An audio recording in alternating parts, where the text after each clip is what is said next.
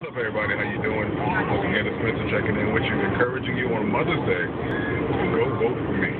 Right there on Want to Shine, I'm going for the host position. You can click on the link below, right here. I told you I had a special Mother's Day message coming, so here it is. Mothers and mothers all around, today is your day. Love you.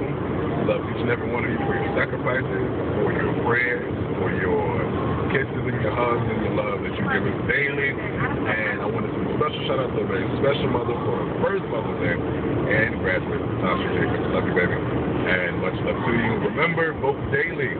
All right, seven days left, guys. No hold me down. Team Spencer, let's go. Shine the light you want to be. I'm out. Peace.